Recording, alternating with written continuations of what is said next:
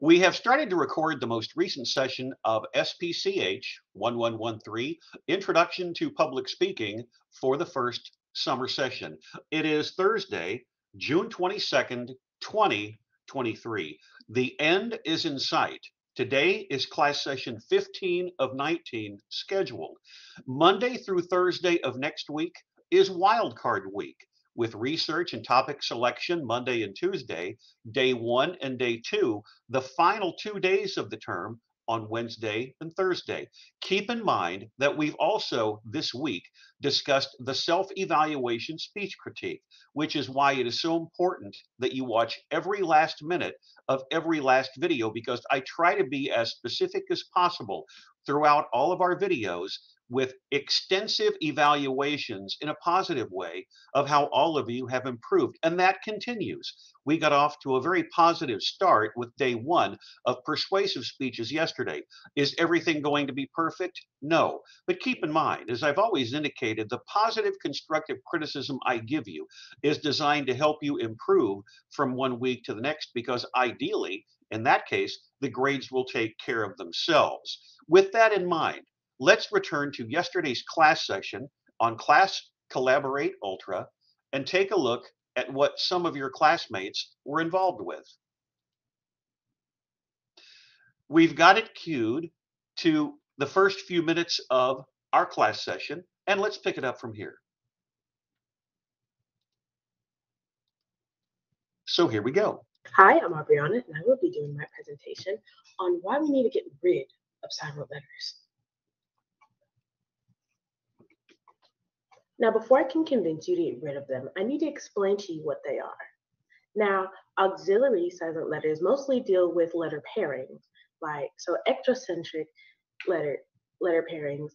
They don't sound like either one of the letters that are combined, like the ng in king, or endo endocentric letter pairings, like the double T in letter, sound like the T.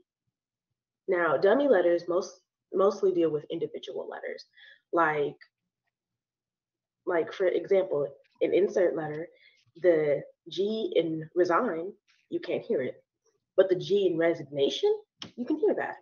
So for that it's a pronunciation thing. That's why it's an insert silent letter.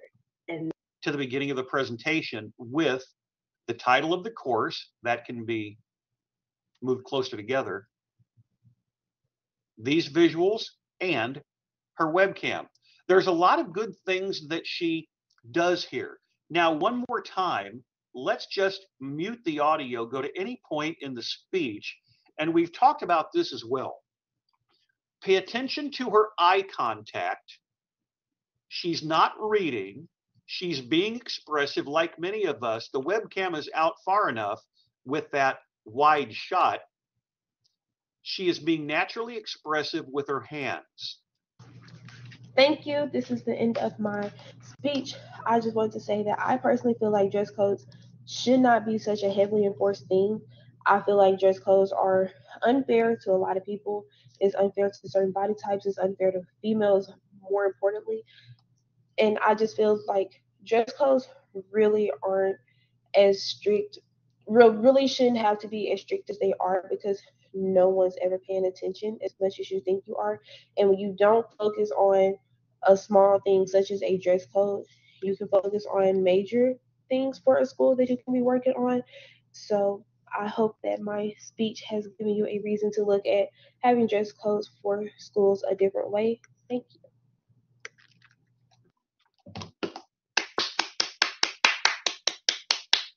Those of you who are with me live saw me with my headphones right up to my ear because her audio is a little on the low side. But what I have noticed here is when we watch the recording sessions later, it automatically gets bumped up a little bit.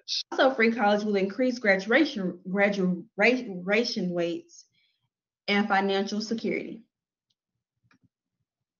The benefits of a free education you're most likely to have a better credit in the future. Students will be able to follow their passions and abilities, and also reduces debt. No one wants to be in their 30s paying off student loans from, co- from college. In conclusion, thank you for watching my speech on why all education should be free. I kind of, I hope you understand. And we could see a change in the future for education. Thank you. Think about what we have seen so far. First, from Aubriana. Second, from Ms. Henderson. Third, from Autumn. The improvement in their professionalism in addressing the camera, the self confidence from all three is quite apparent. This can affect relationships, daily routines, and work and school. You, be, you can become nervous when trying out for a role in a play or meeting your spouse's parents for the first time, but that's not necessarily a sign of social anxiety disorder. And occurrences like that is very normal, especially when you're meeting someone for the first time and it's an unknown thing. It's an unknown outcoming to it, whether it's a play in a role or how the parents may react to you. That's a normal thing to feel. With social anxiety disorder, it is a social phobia. Everyday interactions cause significant anxiety, self consciousness, and embarrassment. Social anxiety versus being shy. Being shy and having discomfort in certain situations is not exactly social anxiety disorder, it's a normal thing. Some symptoms and signs of social anxiety may include fear of situations in which you might be judged negatively, worrying about embarrassing or humiliating yourself. To the final 90 seconds, and with the closed captioning on, check out his concluding remarks, speaking in complete sentences, checking again his eye contact, his design consistency, his ability to take text and images to reinforce the concept of being aware of social anxiety. But it doesn't necessarily mean that they will have this, this disorder when they get older. Some more biological factors include new social or work demands can cause social anxiety disorder or more anxiety. Having an experience or condition that draws attention also. Some coping tips include even though on occasion I will not start right at one o'clock because some of you will be joining us late and sometimes I go after three o'clock. We got off to a good start today with day one of persuasive speeches. Looking realistically at the improvement that you make as a speaker, that symbiotic relationship between you and the camera, and how you can take your text and images and research to create a very positive and persuasive presentation. We will continue tomorrow with day two of persuasive speeches. Good luck in your respective preparation processes. As for SPCH 1113, Introduction to Public Speaking for the first summer session of 2023, that concludes the recording session for today what you noticed with a couple of individuals, I was mentioning the audio from their webcams is a bit low. Class Collaborate Ultra and YouTube, whenever these videos are being processed, usually bumps up the sound a little bit. So if I've ever mentioned anything on course videos where I thought it would be a good idea for you to at least get a little bit closer to your webcams, that should be enough. I don't think there'll have to be any technical issues, but just double check your webcams to ensure that your audio is set as high as possible so it's easier for all of us to listen. Not necessarily making any technical adjustments to your laptop or to your desktop, but making certain that there is an honest effort to project into the camera because this is not like being in a television studio where you would have a microphone attached to your lapel or where there would be a microphone. Most people don't, for their podcasts, don't necessarily have a microphone right up against them, but it's something that is actually just built into their webcams. But that's a small thing because we're coming across quite well. Our presentations for the day are going to start with Chloe we have a number of them, and hers is going to be placed on the screen. Some of you use Microsoft PowerPoint with video inserted. We've got some people using Loom. And this from Chloe is a slightly different application. It still works. The only downside, if there is one, on the bottom, I can't necessarily access any type of closed captioning, but it's a small thing. Our first persuasive speech on day two will be Chloe. Good afternoon, everyone. My name is Chloe Ray. I am a pre-vet major here at SAU, and for my persuasive speech today, I will be talking about why you should spay your pets. This is a very detrimental topic in the veterinary medicine community and world. Without spaying your pet, you can face very many health issues, behavioral issues. We'll hit more on that in later slides. But this is just a very important topic that needs to be shared. And throughout this slideshow today and presentation, I will be showing some pretty graphic pictures. So I just wanted to give a forewarning for that. But it's very, very important for you to see these and know what can happen if you do not spay your pet. Now, to kick off today's presentation, the big question is why should I spay my pet? This is a huge question that many owners ask, and they don't really realize the benefits of spaying your pet. The benefits of spaying would be to protect against different health issues, to reduce stray population, and to prevent behavioral issues. All of these issues can be avoided by spaying your pet. So, owners may not really realize how important it is and how much it can protect you and your animal. For this slide, what does spaying mean? This is the definition of spaying your pet. It's the process of removing all female organs that are inside your dog, including the uterus, the fallopian tubes, the ovaries. These allow your dogs to come into a heat cycle and they allow your dogs to reproduce. The heat cycle is kind of the red flag of saying, hey, I am able to have puppies at this point, or kittens. Spaying is a term for a female, while neutering is the term for a male. But today, my main focus is predominantly on spaying.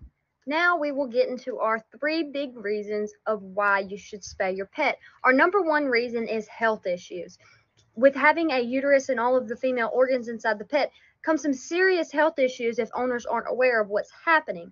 Number one is a pyometra. It's a uterine infection that can move throughout the bloodstream, which can be fatal. This infection is called like the silent killer in veterinary medicine just because there's not many symptoms for this infection it's the uterus just builds up an infection. It can cause a fever. But other than that, without going in and exploring, if we know that your dog is not spayed, that's normally a trigger. But for some, it may not be a trigger. So that's why we call it the silent killer. We also have mammary tumors, so breast cancer in our pets. They can either be benign or malignant, and they're caused by spikes of estrogen, which is released in a dog's heat cycle. So as your dog comes into heat, their hormones are going to spike through the roof. And large amounts of that estrogen can cause these mammary tumors. They might show up as small, you may not feel them until they get very, very large, which can be fatal to your pet. And many owners don't really, you know, rub on their stomachs very much, and they really don't notice these spots until they get large. So, this is another reason why you should spay your animal. And for this slide, we have our second reason to spay. This is to reduce the stray population. Many dogs become strays due to abandonment.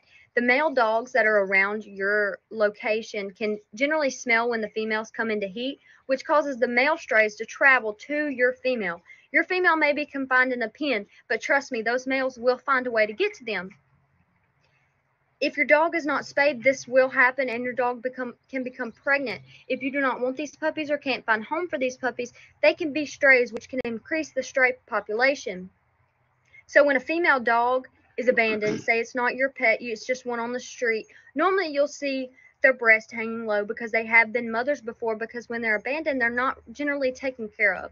They're just out there, they're not spayed so the males will come to them, and this will generally add to the stray population, which is very, very bad around our town here in Magnolia. That's why we have a great rescue CCAPS. You can go down and see all of the strays and hopefully find you one from your own. Now, CCAPS comes to my work here at Eastridge Animal Hospital, and we spay just about any stray female that comes to us, and we also neuter the males. This reduces the stray population a whole lot. Now, for our third big reason, we have behavioral issues. An intact female, when they go into heat, they release sex hormones that can cause stress, ag- aggression, and anxiety. Once your dog is spayed, they will not release these hormones in such large amounts, so it will cut back on the stress, cut back on the anxiety, and cut back on the aggression. Once your dog comes into heat, they release large amounts of these hormones, which cause them to go into a mothering state. Now, this mothering state can cause a lot of anxiety and aggression in your dog. They generally mother their toys just because they aren't going to have babies of their own. And this can cause a lot of aggression. Say, if you go down there to reach to grab their toy, they may stress out and freak themselves out, which that's the, a lot of anxiety that's released due to these sex hormones. So, a female that is not intact, which is spayed, will not release these large amounts of hormones, so they should not go through these stages anymore. This is a great reason why you should spay your pet because you will not have to deal with these behavioral issues. Spaying your pet is a very, very simple routine that's generally done at every single vet clinic that you will go to. Many animals are spayed at the ages of six months to one year, but we do have a few laggers that lag behind. You know, you might want one litter of puppies to yourself or to give to your family, and then we'll generally spay them. Most shelters offer, offer help with the cost of spaying. Here, our local CCAP shelter, you can go there and you can get a waiver for a low cost CCAP spay. This is to help maybe college kids or if you don't have enough money to get your animal spayed because it's a very expensive process. I say very expensive, it's generally around $150, which most college kids don't have. As we normally all get dogs in college just to help with our stress and our anxiety, we may not have that money to pay to get our dogs spayed, but you can also go to CCAPS and they can help you out a lot. Overall, spaying your pet is a very, very good idea for you and your pet. It can save you in the long run from having to pay more money due to health issues or behavioral issues. You might think it's a training issue that you're dealing with, but it's actually a behavioral issue due to the released hormones in your female pet. I just wanted to say thank you for listening to my presentation today. I hope I really persuaded you into spaying your pet. Now, I did predominantly focus on dogs today, but this also is for cats as well. These issues run in dogs, cats, just about every animal, female animal that you see. I did focus on spaying today just because I feel like that's more of a huge topic and you have a whole lot more health issues with a female animal than what you do with a male. They are risk having a male animal and having him still intact, but spaying to me is the most important thing to get done to your animal. Without spaying, we would have a lot of issues in our world and in our community just due to the overrun of strays, the, the health issues, the behavioral issues. Spaying really helps calm down those issues a lot. And many owners may not know that until a vet stresses that to them. If you ever have any questions, you can always ask me. I can enter in my email in one of these slides. I will be so happy to answer any questions that you may have about you or your pet. And you can also come down to Eastridge and our vet, Dr. Brian, he will help you tremendously. I just wanted to say thank you for listening to me, and I hope I talk to you into spaying your future animal. I suppose I'm a little biased about this in a positive way because our miniature schnauzers, which we had in our house for more than 20 years, and remember, the pillow over my shoulder is of a miniature schnauzer, were spayed by Dr. Brian at Eastridge Animal Hospital, so I know him quite well. It's interesting in a presentation like this that you're really focusing on a topic, Chloe is anyhow, on something that she feels very strongly about. And each of her presentations during the first summer session have been on this overall theme, which is fine. We probably wouldn't do it like this during a regular fall or spring semester. But during the summer, because everything is compressed, if you want to focus on a particular area, such as animal care, pet care, that's certainly appropriate in Chloe's case because her format does not allow for any type of closed captioning. We'll just go ahead, as we've been doing this week, on the last 90 seconds of her presentation. Pay particular attention to two things reinforcing the persuasive speeches on why spaying is a good thing, and also the way in which she is coming across as a persuasive speaker. Does she come across sounding confident, knowledgeable, thoughtful, informed and persuasive on her topic at the same time because the informed element shows research, the persuasive takes it one step further. Here's the last 90 seconds. You might think it's a training issue that you're dealing with, but it's actually a behavioral issue due to the released hormones in your female pet. I just wanted to say thank you for listening to my presentation today. I hope I really persuaded you into spaying your pet. Now, I did predominantly focus on dogs today, but this also is for cats as well. These issues run in dogs, cats, just about every animal, female animal that you see. I did focus on spaying today just because I feel like that's more of a huge topic and you have a whole lot more health issues with a female animal than what you do with a male. They are risk having a male animal and having him still intact, but spaying to me is the most important thing to get done to your animal. Without spaying, we would have a lot of issues in our world and in our community just due to the overrun of strays, the, the health issues, the behavioral issues. Spaying really helps calm down those issues a lot. And many owners may not know that until a vet stresses that to them. If you ever have any questions, you can always ask me. I can enter in my email in one of these slides. I will be so happy to answer any questions that you may have about you or your pet. And you can also come down to Eastridge and our vet, Dr. Brian, he will help you tremendously. I just wanted to say thank you for listening to me, and I hope I talk to you into spaying your future animal. If you have the capability to record outside. And we had a couple of people actually do that during the pandemic. I could remember one young lady recording off her laptop on her back porch.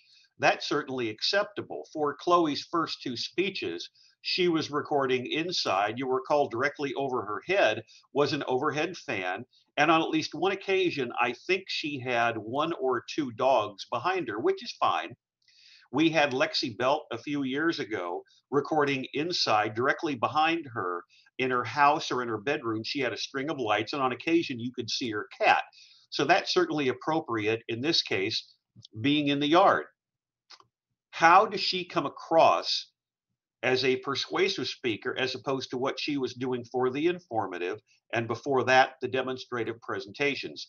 First and foremost, the ease that all of you have on camera, as I indicated yesterday, is going to be much more apparent, where you get rid of that self conscious nature. You'll also, guys, recall yesterday I mentioned between videos that it's probably an advantage to have your speech course online. You've got more opportunities to practice, more opportunities to feel comfortable in front of the camera, and we only see what you think is your best take. It's important, obviously, to speak in public, but if you have a bad day or something happens, you only have one opportunity to make a positive impression. We're online because so many more transactions are taking place. It's a good thing to look at yourself and be aware of that particular imaging over and over again. And she obviously is watching herself. She has a nice ease on camera, as most of you do. The design consistency also is something that we've been looking at from back to front with her storytelling. This looks like something that may have been downloaded from Slidesgo, a very breezy pacing to her slides with the design consistency all the way through. She gives herself enough room on the bottom left hand side to move around in that rectangle approach that she places on her slideshow. And then as we transition Overall, back, spaying your pet is a very as we transition back from one slide to the next, this is where Chloe, you need to make certain that you are running your slides through some type of spell check device because check the spelling of scalpel, unless that's a correct term, but also down here, check waiver always run all of you run your materials through spell check because occasionally something may slip past the goalie. Other items that she has on here are different kinds of images and text, which help her remain extemporaneous, not necessarily doing stuff word by word. some of the behavioral issues on reasons to spay. She brought up a really good persuasive point on sex hormones. The reduced stray population, reason two. And of course, she also mentioned near the end of her speech, she's focusing on dogs here, but certainly this is something that affects all different animals. But one of the challenges that you face with more and more animals that are strays, you may run into some of them that are feral and can be dangerous. But the male dogs can smell when the females come into their heat cycle. All of this stuff is really important. And most importantly, who's going to take care of them? Remember, she had a presentation earlier during the first term on heartworms. How many of these dogs, in this case, are going to be sick or potentially could spread disease, or as she mentions here, potentially be dangerous. Some of the health issues with normal and abnormal parts of the body, uterine infections, and mammary tumors. Again, very expressive with her eye contact, and it comes across in her voice as well. So we continue to go back, and there she is on the same slide continuing to move back to what does spaying mean on one of her early slides. Quote, spaying your dog is the process of removing all female organs, including the ovaries, fallopian tubes, and the uterus. And in the case of both of our miniature schnauzers, that was something that was that was done. And it also assists, by the way, in their long-term health it alleviates any potential diseases sexually related to them that could happen later in their lives. Let's make certain that her eyes are open. There she is. Why you should spay your dog, the spay talk, a very positive way to start our second day of persuasive speeches. And let's leave that title slide on for just a moment. How is Chloe improving with her content, as you can see on her screen, with her delivery, as you can see throughout with her visual on the bottom left-hand portion of the screen, and her visuals with all of the different kinds of interactivity that she provides in her slideshow. In this case, the interactivity being that the text and the images are bouncing back and forth, whatever makes you feel most appropriate for her presentation to start the day. That brings us to our second speaker. This is Jalissa on Loom. The topic of her presentation is why children should not have social media until 15. I should mention before I go back that as we are recording within the 1 to 3 p.m. window, I'm continuing to check both my SAU and Yahoo email addresses so if any of you who are scheduled to go send me material, it gives me the opportunity at the end of class to go ahead and play them. So let's put Jalissa's on the screen. And she is again discussing something related to social media. Here we go. Good afternoon. My name is Jalissa Oliveras, and today I am going to be going over why children should not have social media until 15 for SPCH 1113 Intro to Public Speaking for first summer of 2023. Social media is websites and applications that enable users to create, share, and or exchange information and ideas in virtual communities and networks among several people. Some popular social media platforms are Instagram, Facebook, Twitter, Tumblr, Snapchat, TikTok, Reddit, LinkedIn, Pinterest, and Reddit. Some effects that social media has on people is that it is addictive, harmful, very manipulative, negative, distracting, changes in mental and physical health, and it can be exposing. It can be addictive because Many people want to get work done right away, but once you get on social media, you just find yourself scrolling through all the posts you get through. I happen to be one of those people. It can be harmful because many people will start to look at themselves and start comparing themselves to other people, which is a common thing that can happen once they start comparing and realizing what they have and don't have. It can be manipulative because many people can try to change someone's opinion in a way that can manipulate them into believing it is true. It can be negative because of the amount of things that can change to your mind, like it could create mental problems and could possibly lead to depression, make you have anxiety, possibly lead to self-harm or possibly suicide. It can affect your physical health because with social media, you want to constantly be on it and just scroll on it all day long. Although you know you have multiple things to do, you just want to scroll. So it, makes you potentially lazy. And it could be exposing, especially to young children, to like sexual like sexual uh, content, which is very widespread on the internet today with many many filters being turned off and some websites not even having filters. Here is a video on how social media is changing our brains. With social media sites being used by one third of the entire world, they've clearly had a major influence on society. But what about our bodies? Here are five crazy ways that social media and the internet are affecting your brain right now can't log off. Surprisingly, 5 to 10% of internet users are actually unable to control how much time they spend online. Though it's a psychological addiction as opposed to a substance addiction, brain scans of these people actually show a similar impairment of regions that those with drug dependence have. Specifically, there's a clear degradation of white matter in the regions that control emotional processing, attention, and decision making. Because social media provides immediate rewards with very little effort required, your brain begins to rewire itself, making you desire these stimulations. And you begin to crave more of this neurological excitement after each interaction. Sounds a little like a drug, right? We also see a shift when looking at multitasking. You might think that those who use social media or constantly switch between work and websites are better at multitasking, but studies have found that when comparing heavy media users to others, they perform much worse during task switching tests. Increased multitasking online reduces your brain's ability to filter out interferences and can even make it harder for your brain to commit information to memory. Like when your phone buzzes in the middle of productive work.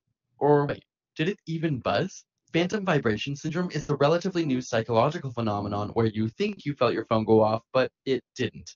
In one study, 89% of test subjects said they experienced this at least once every two weeks. It would seem that our brains now perceive an itch as an actual vibration from our phone. As crazy as it seems, technology has begun to rewire our nervous system, and our brains are being triggered in a way they never have before in history. Social media also triggers a release of dopamine, the feel good chemical. Using MRI that's just some of the things it does to you. Thank you so much for watching my presentation. Have a great day.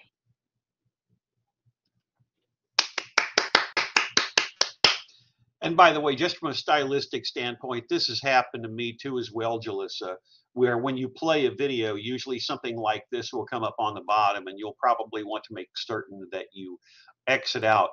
Think about the thoughtful nature that she provides to this speech because there is so much, and it reminded me when she was talking about this garbage online that whenever I was younger, we were getting all of our messages through radio, television, newspapers, magazines.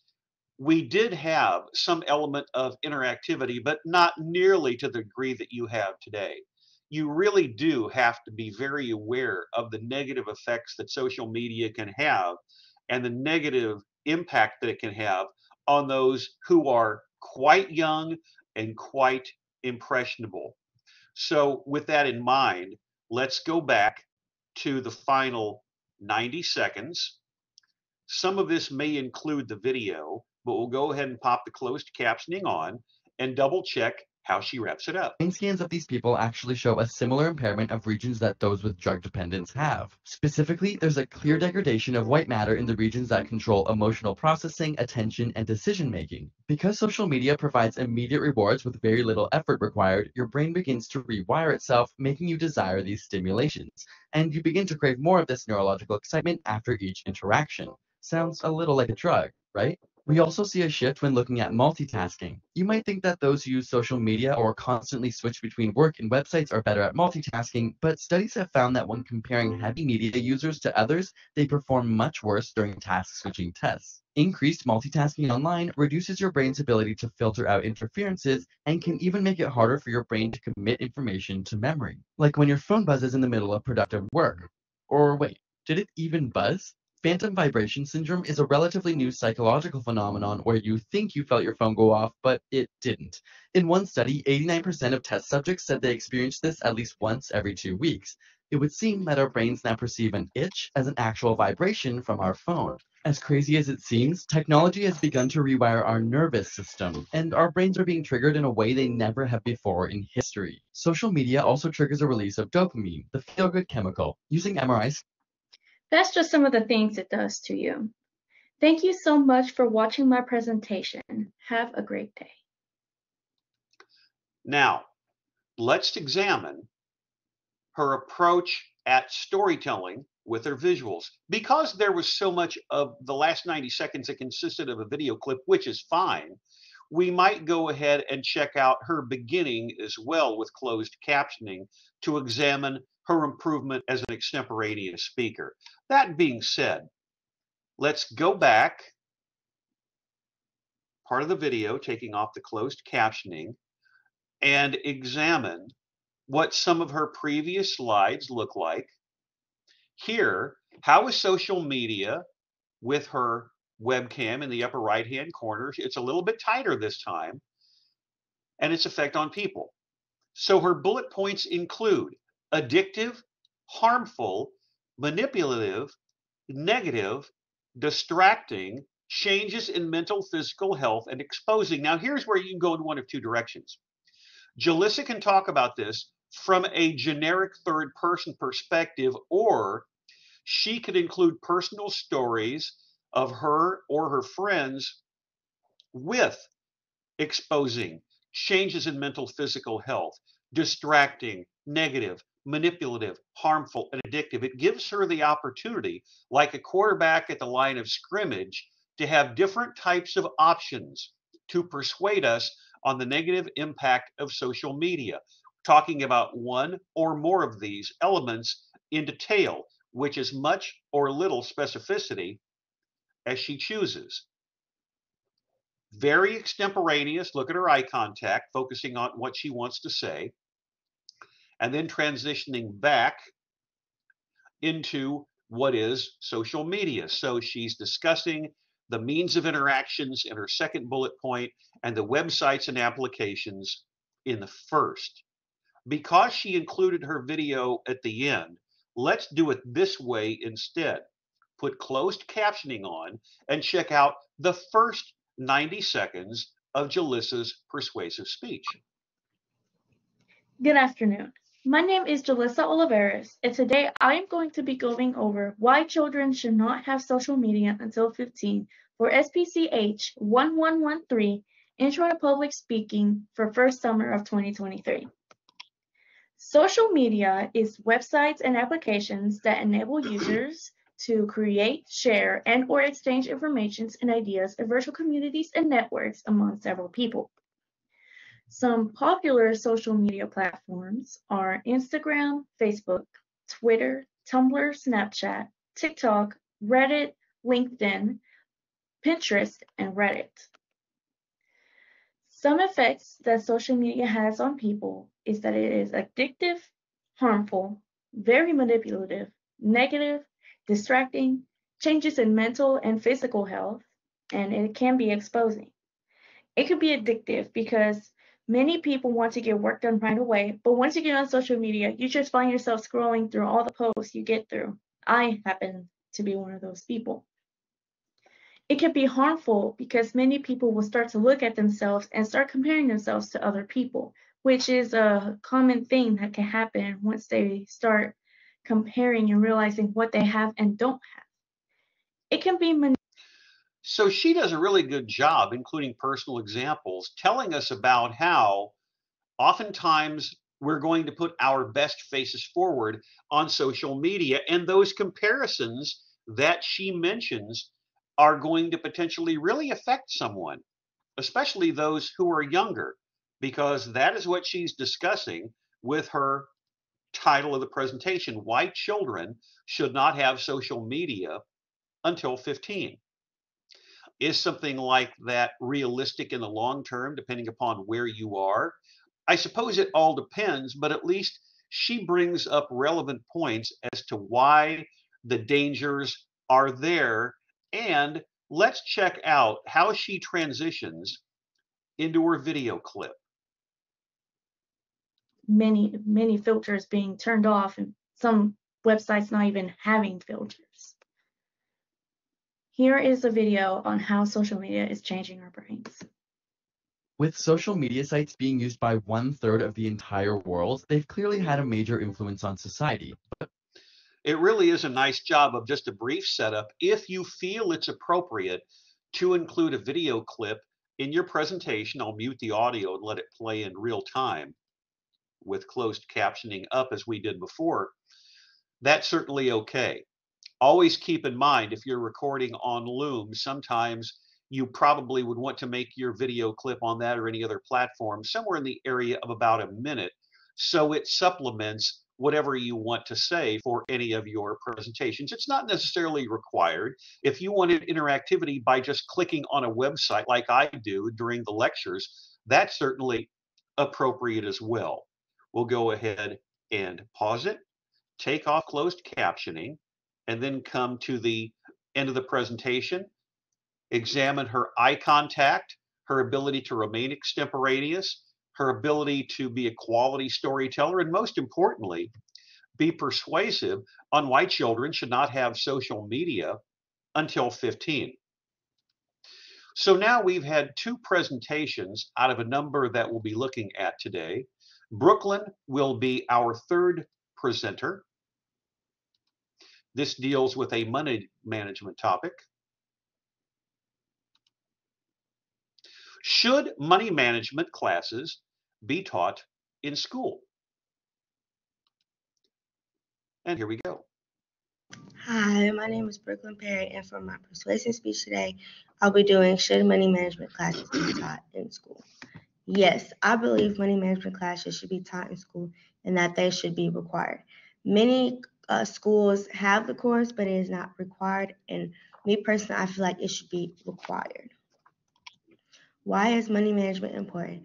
Money management important because it can help you reach your financial goals, um, like buying a house, a car, just having your money right, being financially stable.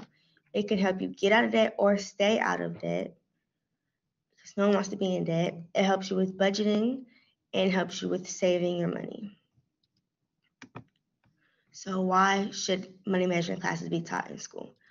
When money management classes are taught in school, it can create a foundation for good habits for later on in life when you have money and have bills to pay and have all these different bills and you need to manage your money so you know what you can spend and what you need to save to pay bills with. It can also help avoid mistakes in the future that will lead to long term money problems. And when we learn how to purchase vehicles and buy homes early on in life, we won't need to struggle and just struggle with knowing what we should do when we buy a house and how to purchase a vehicle. Do we know if we're doing it the right way? We don't know if this person is trying to set us up. So I feel like if we learn that early on in life, then we will be prepared for later on when we need that information. Knowing manage, money management sets you up for success. And it also helps help hold people accountable because they can't say they didn't know they didn't know about anything that comes with money because they were taught in school. So many people believe that it's not the school's job to teach money management, it is the parent, the guardian, whoever's staying in the house with them. But some people do not have that role model at home. And that leads to them not knowing anything about money management, but what they have in their head, what they've seen, making big mistakes because they don't know better. It could cause them to go into debt. It can cause them to have a low credit score. It can have long term issues, long term money issues. And even if there is a role model in the household, they could overall forget to teach them, or they may not know themselves because no one was there to teach them. And going on to my last slide, the outcome. So the outcome of not knowing money management is overspending, so you won't have money to pay your bills. You can overspend on just everyday household items, laundry soap, detergent, dishwashing detergent, liquid soap, or dishwashing soap, personal hygiene, just stuff like that. And then you won't have money to pay your bills, or you will pay your bills and not have the money to buy your everyday household stuff and eating out and stuff like that. So you need to learn how to not overspend your money so you have enough money for stuff that you need. Groceries, stuff like that. Instead of eating out, you can go buy groceries and have more. So the next one is a lack of retirement funds, which means you cannot retire when you desire because you don't have the money saved up. You can be in debt, you can possibly go into bankrupt. They can repossess your car or house because you haven't made payments on it and you cannot have a savings account. And I believe a savings account is very, very, very important because when people get into a little bind, they they can pull money out of their savings account to help them. And I think everybody needs that once in a while. And I believe that you should be putting money back every month into your savings account so that you can have money when you desperately need it. So that is all I have for my pers- persuasive speech. Thank you guys for watching, and I hope that this PowerPoint and my presentation helped you to see money management in a different way and see why it should be taught in schools. Thank you. A reminder, Brooklyn, don't call it a PowerPoint, call it a persuasive speech. Always remember that. A couple of years ago, someone did that online and I started to I started to laugh quietly to myself. Remember, it's a demonstrative speech, an informative speech, a persuasive speech, a wildcard speech. Don't ever say PowerPoint. By the way, nice job in terms of remaining thoughtful and persuasive all the way through. After we've gone through the last 90 seconds of her presentation with closed captioning up, as with everyone else, we'll check out her design consistency, how she looks on the webcam, and spelling, grammar, syntax, and punctuation on her slide structure. Last 90 seconds, closed captioning up. Here we go. You can overspend on just everyday household items, laundry soap, detergent, dishwashing detergent, liquid soap, or dishwashing soap, personal hygiene, just stuff like that. And then you won't have money to pay your bills, or you will pay your bills and not have the money to buy your everyday household stuff and eating out and stuff like that. So you need to learn how to not overspend your money so you have enough money for stuff that you need. Groceries, stuff like that. Instead of eating out, you can go buy groceries and have more. So the next one is lack of retirement funds, which means you cannot retire when you desire because you don't have the money saved up. You can be in debt, you can possibly go into bankrupt. They can repossess your car or house because you haven't made payments on it, and you cannot have a savings account. And I believe a savings account is very, very, very important because when people get into a little bind, they they can pull money out of their savings account to help them. And I think everybody needs that once in a while. And I believe that you should be putting money back every month into your savings account so that you can have money when you desperately need it. So that is all I have for my pers- persuasive speech. Thank you guys for watching, and I hope that this PowerPoint and my presentation helped you to see money management in a different way and see why it should be taught in schools. Thank you. And I appreciate the fact that Brooklyn is waiting 1001, 1002, sometimes a little bit longer. And then, and only then, like I do with all of our course videos, officially ending the recording session by pressing stop. Now let's talk about her structure regarding overall design. Many of you have really improved with your thoughtful nature your ease and confidence on camera through the webcam. However, we talked about this yesterday on day one with Abriana. If you're going to wear a shirt with a design or lettering, always make certain that you have turned around your webcam because it looks as if we're getting a reverse image. Always double check. If you're wearing anything with print, to ensure that you can actually read it. If not, just wear something without any kind of print on it because then we wouldn't know because most of us are not going to meet in person. But little things like that matter. Not going to be an issue here, but double check for your wild card speech next week. Also, as I had indicated with Chloe, once you have all of your slides set up with your headlines, with your font size, your structure, your bullet points, anything that you have with text, always go through, whether it's Google Slides, whether it's Microsoft PowerPoint, always go through the editing function to double check the spelling. Something out like outcome would be one word. That would not be separated. Small thing, but it does matter. Nice job in setting up the headline and the bullet points to discuss the relevancy of why money management is so important.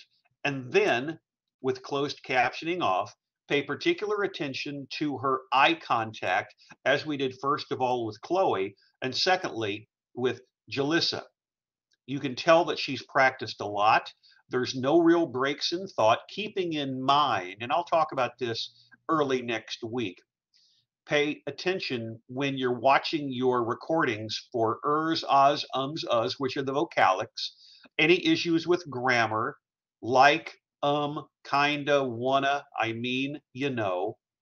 Anything that is potentially going to throw you off course by not remaining in the overall scope of things smooth. This is what I'm talking about. Role model. That sticks out like a sore thumb. M O D L E. I'll let you off easy this time, Brooklyn. But again, double check your spelling.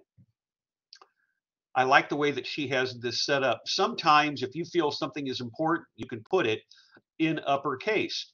Not having someone at home and some of the issues that can happen because not everyone is going to be a quality money manager. Sometimes people are going to be just inundated with little things that come up and they wind up in credit card debt. Before you guys were born, during the summer at another institution, I had someone discuss money management from the standpoint in her persuasive speech on how being in credit card debt could literally mess you up for years because of the interest rates. So she has an excellent topic here. Again, moving backwards, why it should be taught in school. You're going to have good habits, avoid mistakes later on. Think about this for many student athletes now at division 1 institutions where they have the NIL agreements in men and women's sports. Name, image, likeness. You don't think it would be a good idea for all of these individuals, potentially at large D1 schools with hundreds of thousands of dollars coming in, to have some type of course in money management, little things like taxes or stocks or bonds?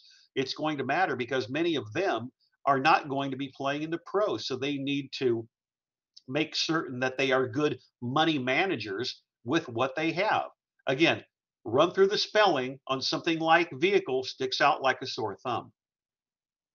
And then we continue to move back to why money management is important for her bullet bullet points from 1 to 5, help reach financial goals, get out of debt, keep out of debt, budgeting and savings.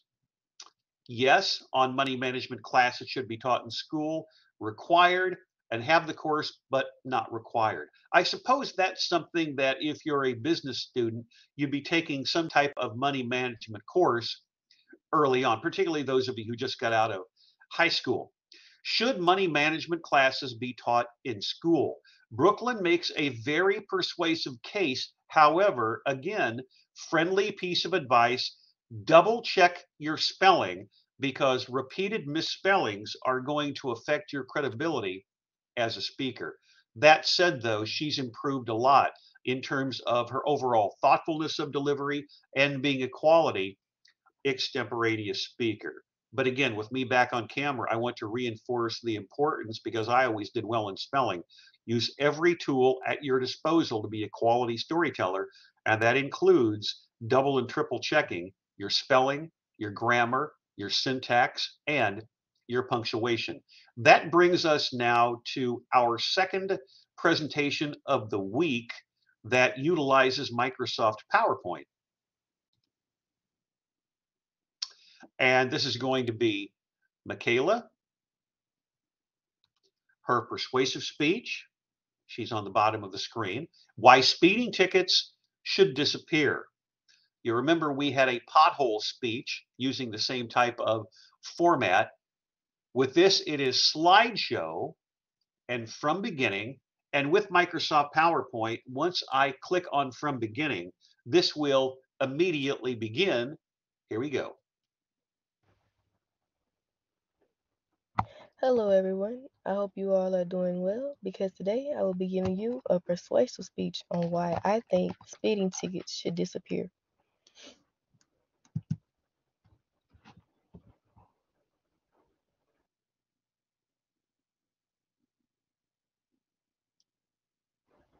What is a speeding ticket? Um, in the top corner here to the left, I have a photograph of a woman getting a speeding ticket, and also on the right, I have a photo of the radar which detects speeding during traffic. But essentially, a speeding ticket is a citation issued by patrol officers to drivers who are essentially accused of exceeding the posted speed limit. Speeding tickets can be given to anyone for exceeding a speed limit at a minimum of one mile per hour over. But typically, they're only going to pull you over for doing maybe 10, 11, could even be 20 over. Traffic citations, however, are nearly the same as speeding tickets, but these can also be issued for different reasons, such as reckless driving, drunk driving, or even, you know, swerving into oncoming traffic parking incorrectly, other reasons other than speeding.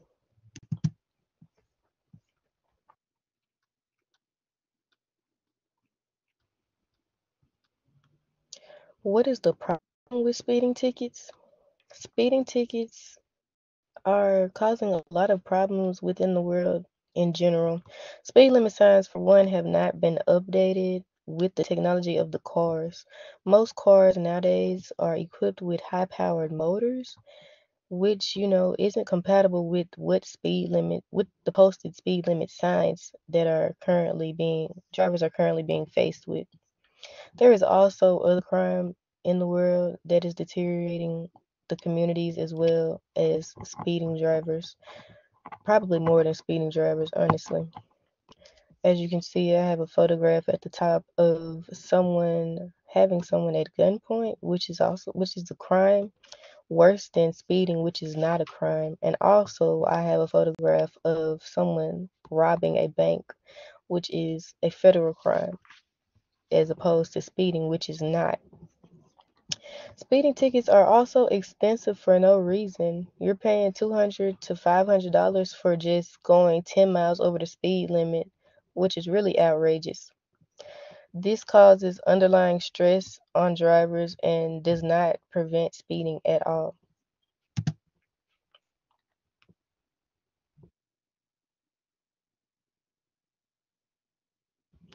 Other conflicts that we're faced with getting a speeding ticket can also result in an increase on a driver's insurance policy. This can cause your insurance rate to rise from thousands of dollars, honestly. And they could even even drop you from your policy if you accumulate too many speeding tickets. Some drivers drive below the speed limit, which conflicts with other drivers who have somewhere to be at a specific time. These drivers cannot reach their destination if they're doing under the speed limit because they cannot exceed the speed limit. Studies and statistics show that speeding tickets do not combat speeding the way that officers want it to. It actually is the most ineffective way to prevent drivers from speeding.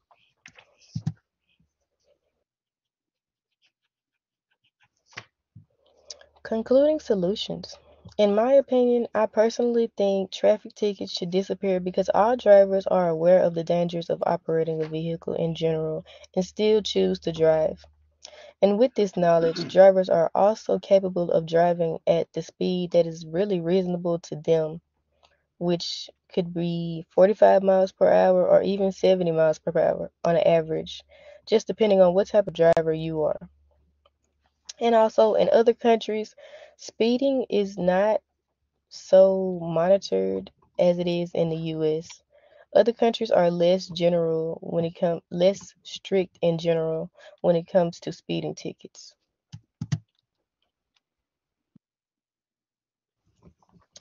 And here are just a couple of my traffic citations. I have a couple from Louisiana, a couple from Arkansas, and even from our university here at Southern Arkansas. And this will conclude my presentation on why I think speeding tickets should disappear. Thank you.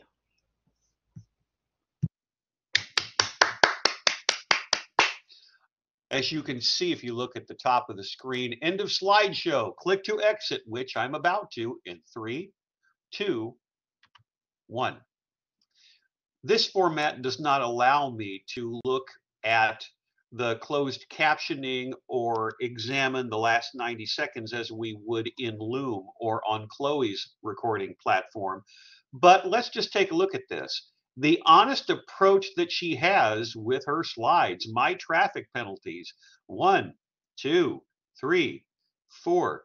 All of you have to be very, very aware that there are certain parts of the highway where individuals may be out either to get you or, shall we say, are more diligent in trying to patrol that particular area of the highway. For those of us who have been in Southwest Arkansas for a long time, we all know that when you get near some areas of Southwest Arkansas between between Magnolia and Texarkana on US 82 that there are some there are some localities that are going to be quite stringent in enforcing traffic laws.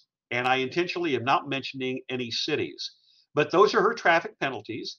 And then we move to some of the concluding solutions. And by the way, in the state of Texas, the outcry became so great with cameras right on stop signs or stoplights that automatic tickets were being given out and all of a sudden they went by the wayside. I think they've had some of those in Arkansas as well, where photographs would be taken of individuals who were going through red lights or just were not necessarily being as diligent as they should have been. So let's examine these.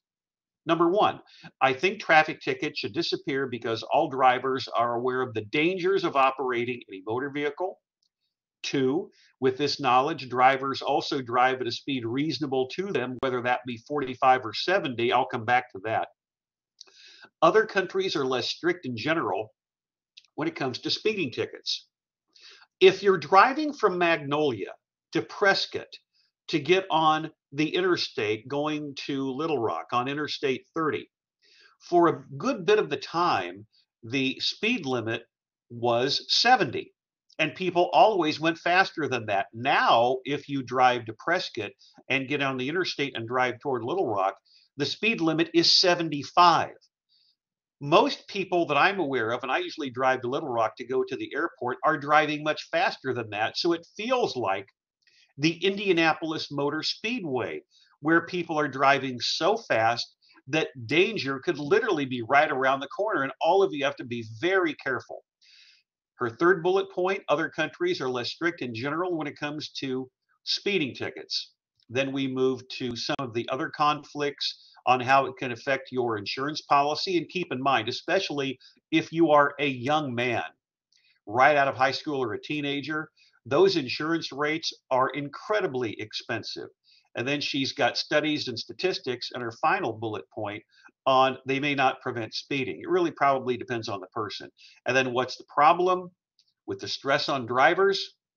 What is a speeding ticket? She discusses it in detail and her title slide. Since we can't look at the last 90 seconds with closed captioning on, let's just go back into the slideshow and watch her first 90 seconds. Does she look comfortable on camera? Chloe was recording outside. Michaela looks like she's recording inside her car. Whatever works to get the job done. And how is she coming across in terms of being not only persuasive, but someone who is, as I've said yesterday and today on multiple occasions, at ease on camera? First 90 seconds. Hello, everyone. I hope you all are doing well because today I will be giving you a persuasive speech on why I think speeding tickets should disappear.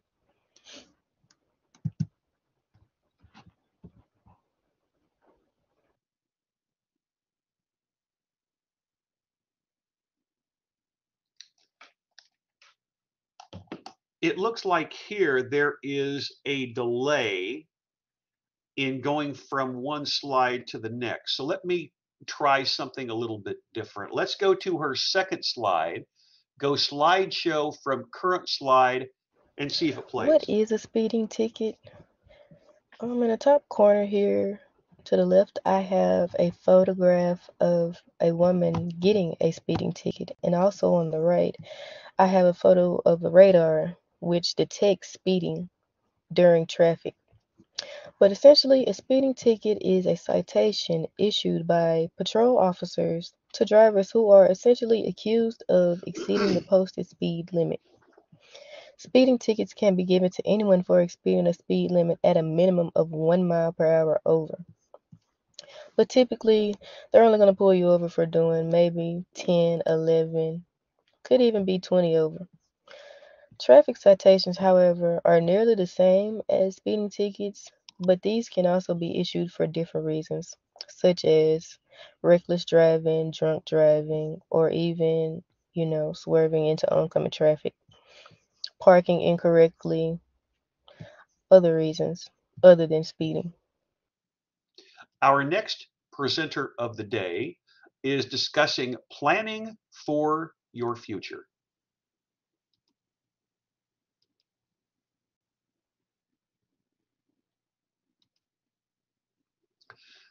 This is our next persuasive presentation from Ms. McCamey, why you should plan for your future.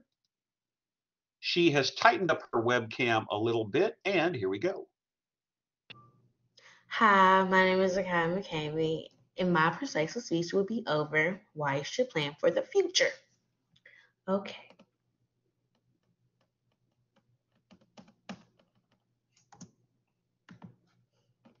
Okay, so when planning your future, you have to be considerate.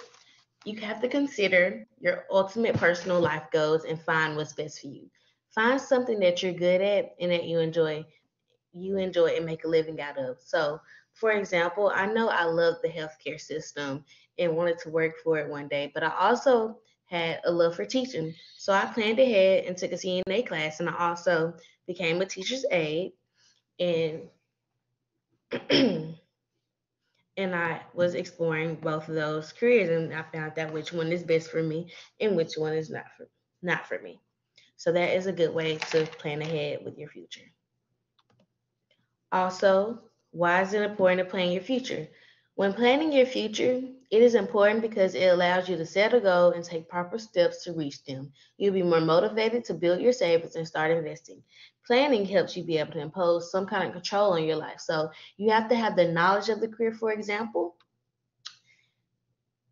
If you plan on majoring in whatever career you want to major in, go to the website, go to the website of the college that you want to attend and you should be able to go under the careers that they offer and look at the degree plans and the classes that you'll take. So that is another way to um, plan your future. Look at the class that you have to take. Look at what you need to know. So you can go look at it and be prepared for it in high school. You can like, okay, I need to take college algebra in college and they offer that at your high school. You can take that and be ahead a little bit more. Also, having the vision of it is always good because if you have the vision, you have the you have to believe it also because you why can't sorry. Having the vision of it is always good because if you believe you can then you will. So the benefit of planning ahead when you're when you are benefiting your future, you're in better control of getting what you want out of life and making your vision of life become real. You can have an organization and sense of direction because without planning your goals, you never know what you want to go in with your life. So you should always plan, you should always have a plan and look at the opportunities that is around you. Some so for some high schools, they provide nursing classes and welding classes. And if you are interested in taking those classes, you should do those in high school. So so it's always good to be ahead. So when you're planning your future, you will be ahead of most of your friends most young people don't really know what they want to do with their lives right away. So be the person that's constantly working on themselves and learning about themselves because it is better to have a plan rather than having an idea of what you want to do with your future. Because when you have a plan, you can start working on it and achieving your goal. But when you have an idea, you don't know what to, where to start and you're confused on the path that you want to go that you want to go. So it's always good to have the plan because when you have your plan, you're like, okay, I need to have this, I need to have this, I need to have this, and I need to have this. But when you have the idea, you're like, I think I need this, and I think I want to do this. You don't need to think it, you need to know it. So if you want to plan ahead and be a part of that ahead system, you need to do it.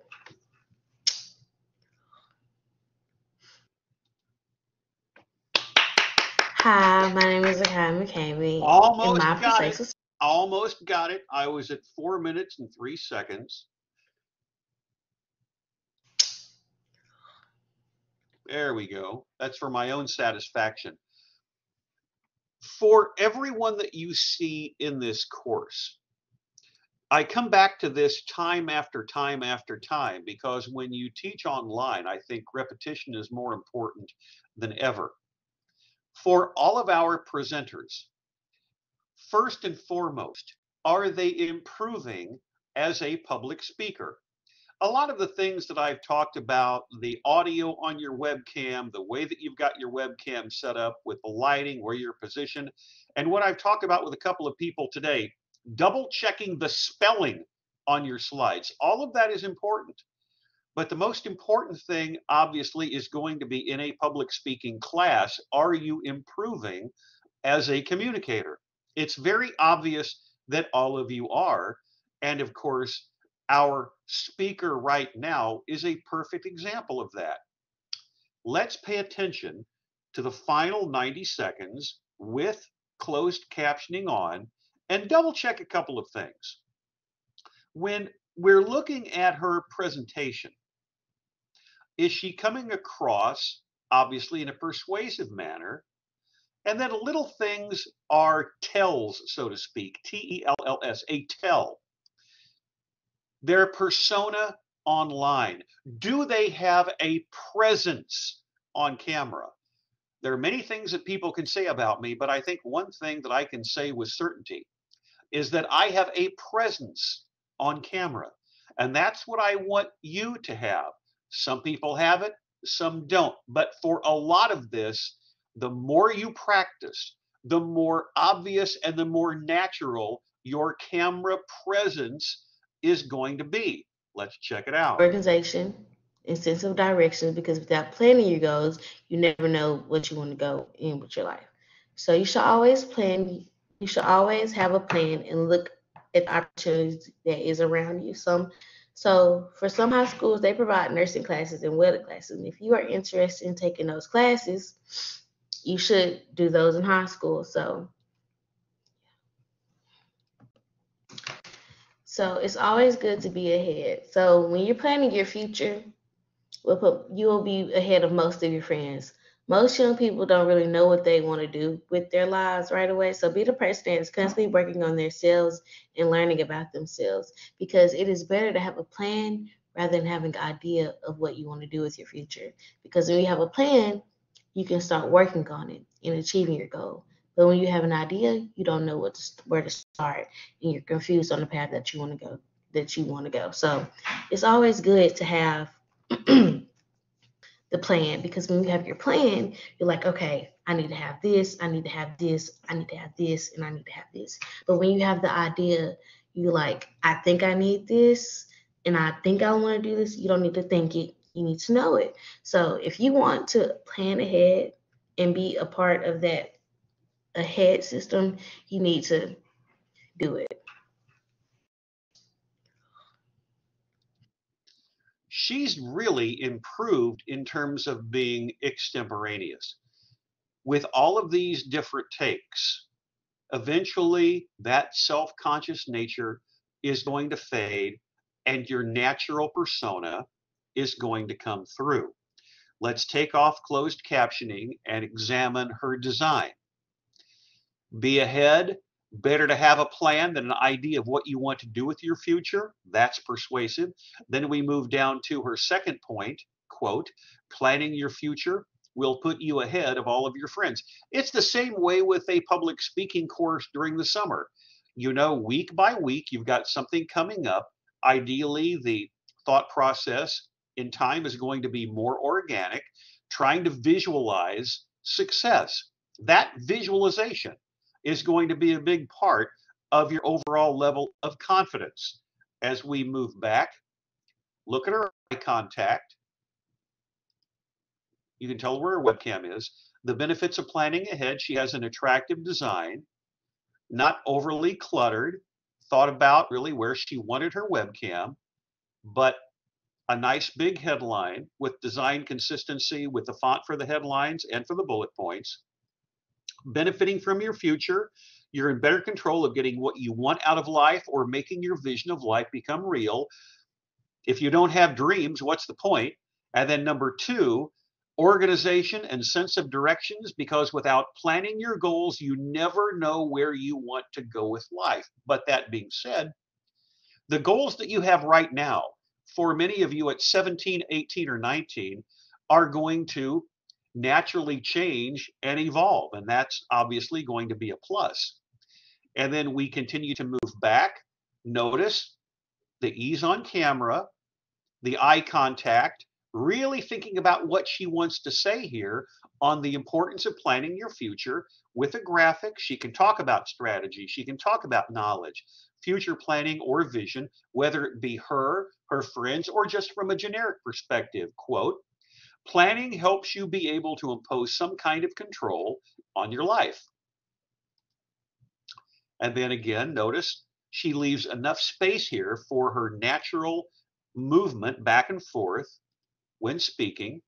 When planning your future, you have to consider your ultimate personal life goals and find what is best for you. In this case, just being nitpicky, I probably would not make it a contraction.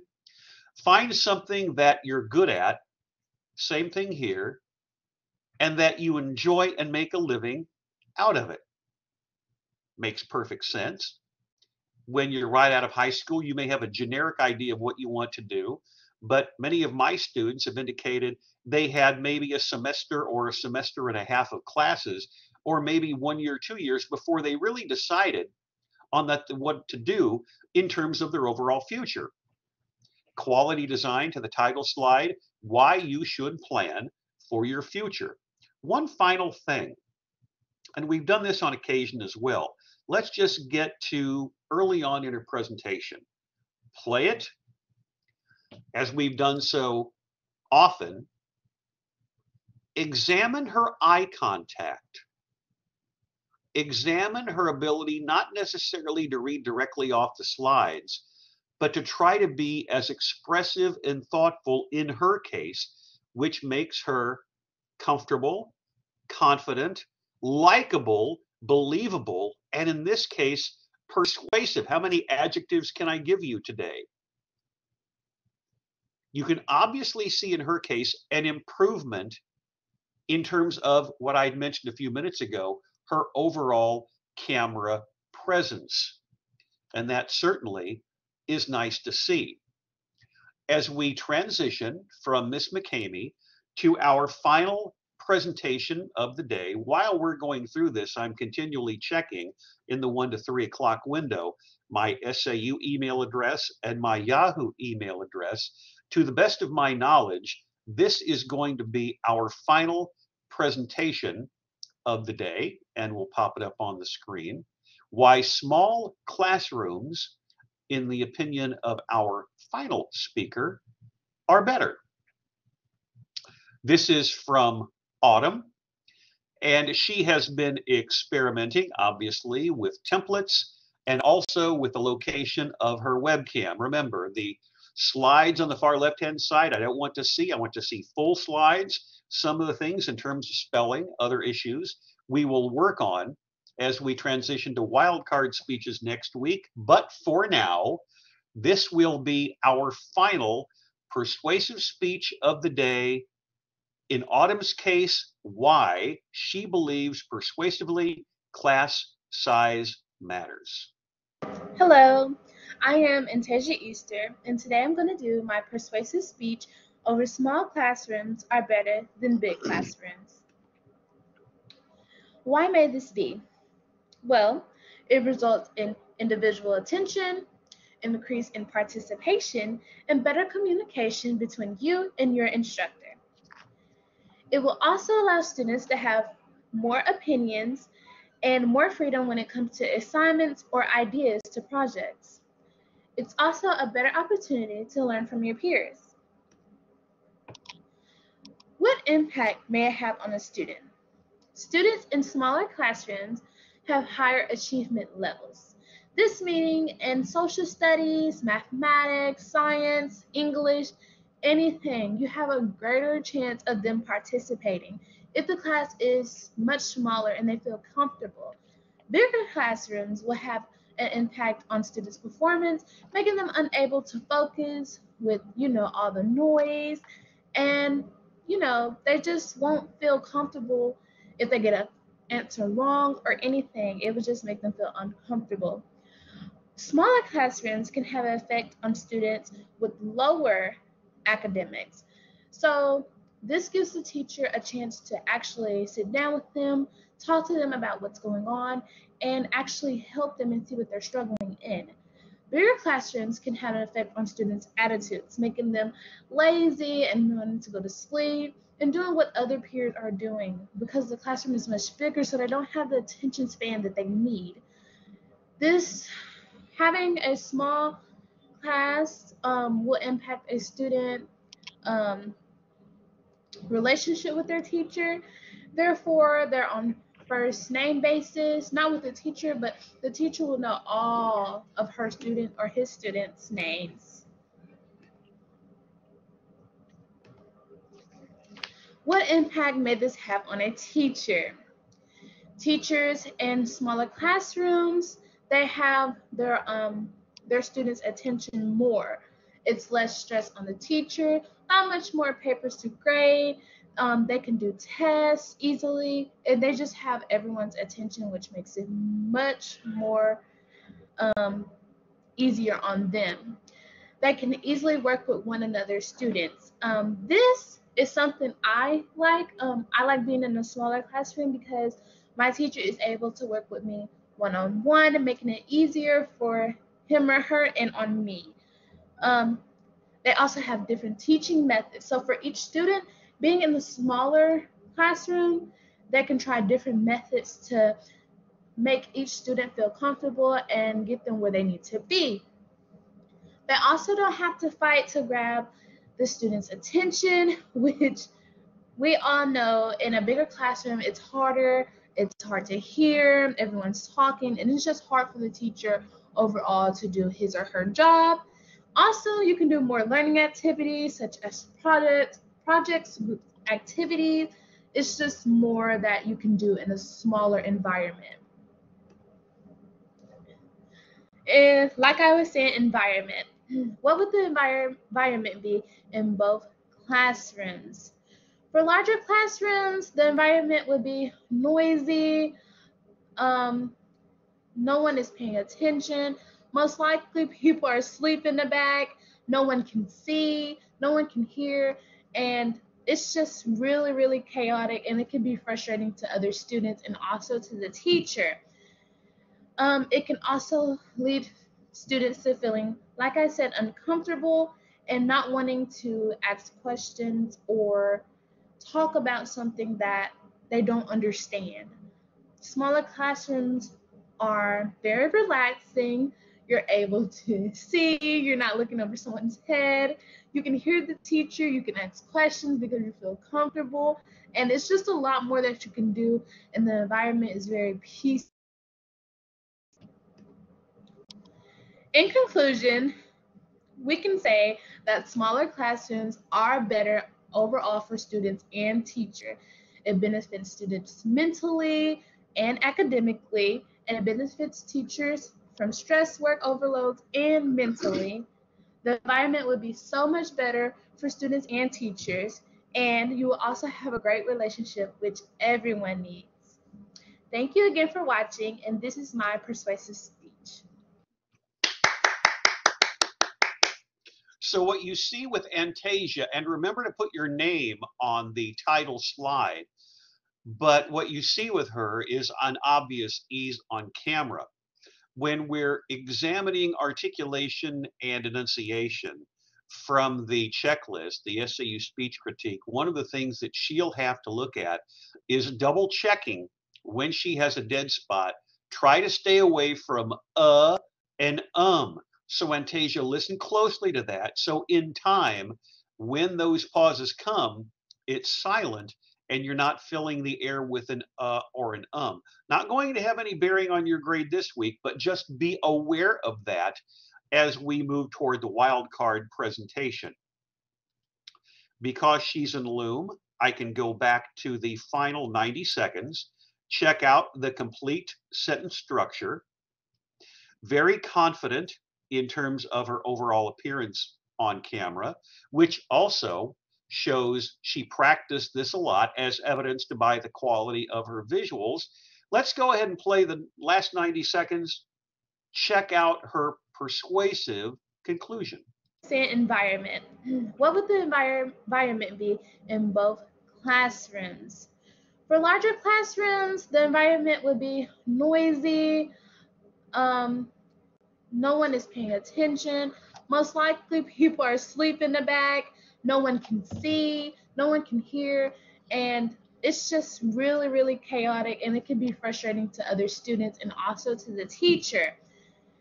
Um, it can also lead students to feeling, like I said, uncomfortable and not wanting to ask questions or talk about something that they don't understand. Smaller classrooms are very relaxing. You're able to see, you're not looking over someone's head.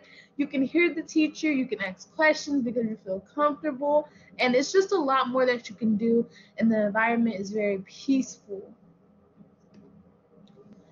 In conclusion, we can say that smaller classrooms are better overall for students and teacher. It benefits students mentally and academically and it benefits teachers from stress, work overloads, and mentally. The environment would be so much better for students and teachers, and you will also have a great relationship, which everyone needs. Thank you again for watching, and this is my persuasive speech. She has an ease on camera, a likability, that presence that I've been reinforcing over the last two class periods on camera comes in. Listen closely, however, when any of you have a dead spot, an uh or an um can crop in. Watch and listen to yourselves closely so those can be eliminated in time. Now, whenever I say that, guys, most people that you run into may not even necessarily be aware that vocalics or vocalized pauses, ers, ahs, ums, us exist.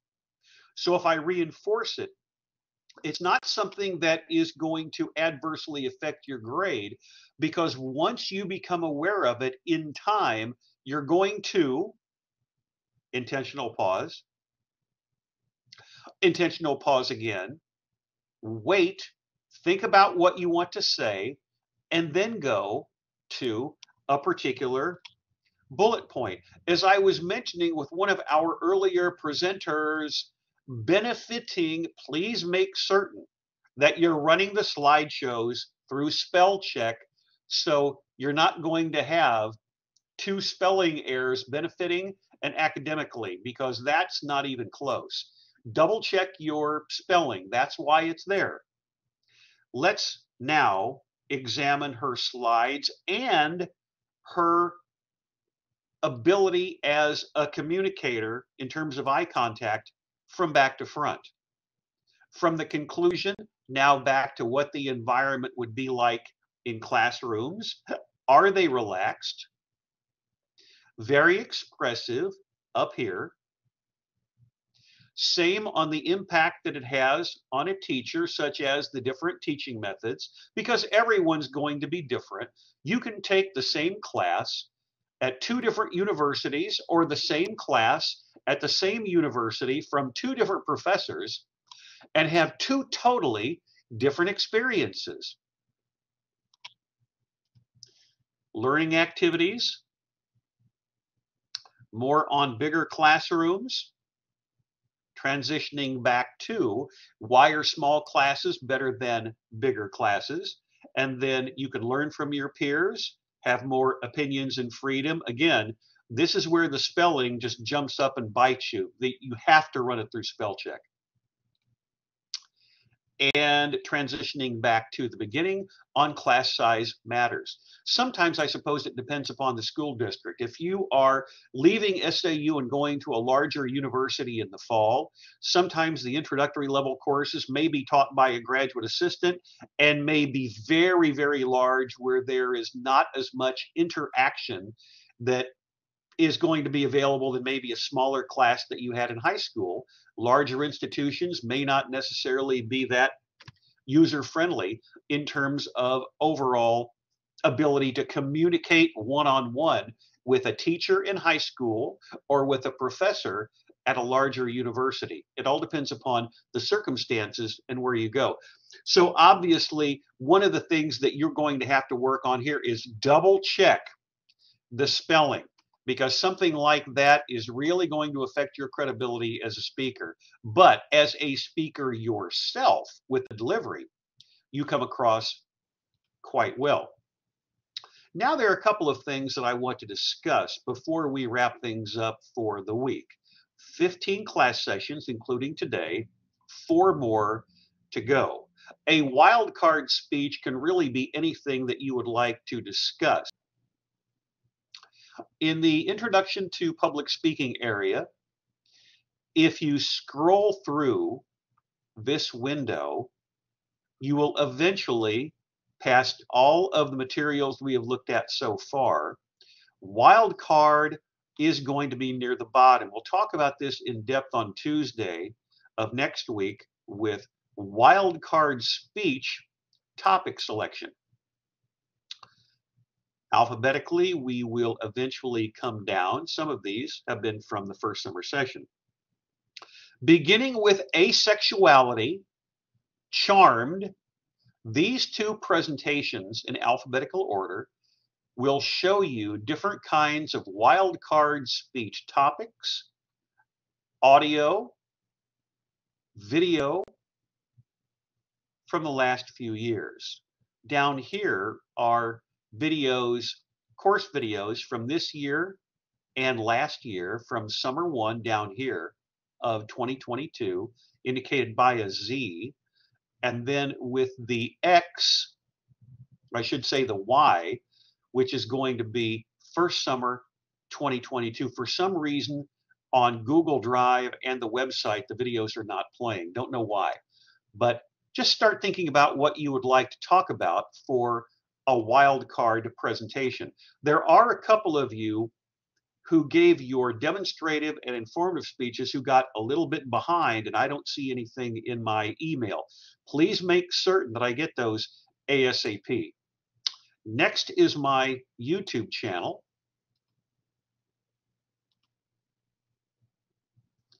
At this location, you can go to the playlist you can also click on videos, but realistically, the best thing to do is to click on the playlist.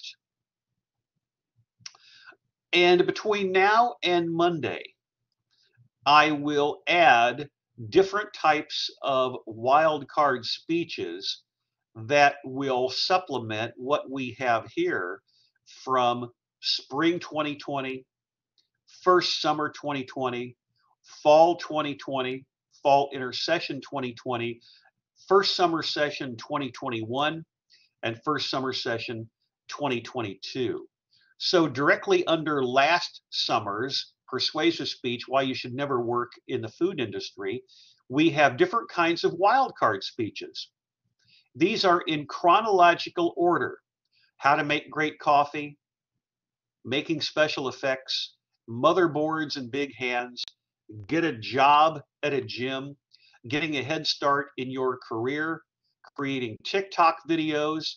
Those are just some of a number of topics that you can examine for a wildcard speech. Again, anything that you think would be appropriate to conclude the term, something that you would really like to discuss that ideally is going to be your best overall presentation. I've talked about little things today, but let's get back to the spelling on slides for just a moment. That's something that can potentially affect your credibility and your score. You can have a quality speech and I may dock you a point just because there may be some spelling errors that just jump out like a sore thumb. That's something that must be alleviated. Other things like audio on the webcams can be tweaked a little bit. I'll talk about that a little bit during class time on Monday. We'll encapsulate a lot of that at the outset. Let's return to the student preview mode of Blackboard.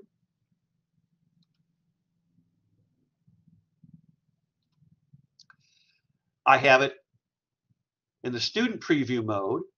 Probably Sunday night, I will post the scores at my grades. Down at Class Collaborate Ultra, we now have two different pages of course recordings. Menu, recordings, session 15 will be on top. We have basically 10 for each panel. You move to page two, our first four class sessions, and then everything that we have done, including yesterday and the infamous Tuesday session where the internet knocked us offline. I was glad just to get that video available for what we did. I did not want to re-record that. Of course, homepage announcements. This will change to week five with everything else probably remaining the same. For the instructor information, I always talk about a link to my website where we were just at, my YouTube channel also. Then at the course syllabus, let's check the actual syllabus first to remind all of you of where we stand in terms of point allocation. Demonstrative, informative, persuasive, wildcard speeches, each worth 20 points. The self-evaluation speech critique 10, we'll talk about that probably each day next week to some degree.